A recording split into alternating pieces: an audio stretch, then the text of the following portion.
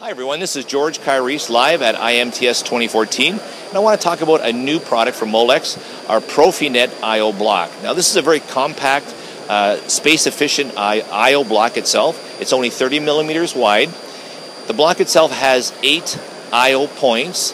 Each one of the points is configurable to be either an input or an output, which provides you a lot of flexibility in your applications. It uses M12 power connections to the module itself on the Ethernet uh, ports, there are two ports uh, on per block. Now, the, the ports can be using uh, standard threaded M12 connectors or our Ultralock connectors. The beauty of the block is itself with the two port switch, you can daisy chain the, the blocks so that you have a very efficient, uh, compact, cost effective installation. Now, the uh, IP address setting on the network is done via three rotary switches on the front of the unit. All of the modules have uh, diagnostic uh, LED indicators for the uh, I/O point status and the network status as well too.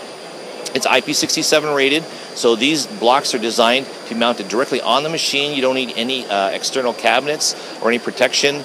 Uh, it's a very uh, low cost, very compact I/O block. We'd like you to get more information on the network and on the the block itself. Please visit us at www.molex.com. Thank you.